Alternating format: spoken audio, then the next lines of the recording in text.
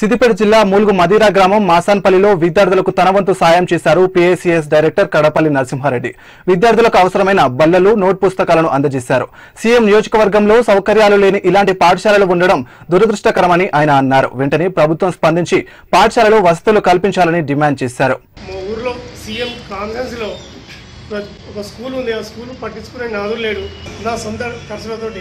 tables అవన్నీ ఇచ్చినాను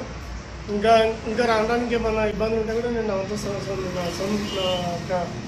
సొంత పేద విద్యార్థులకు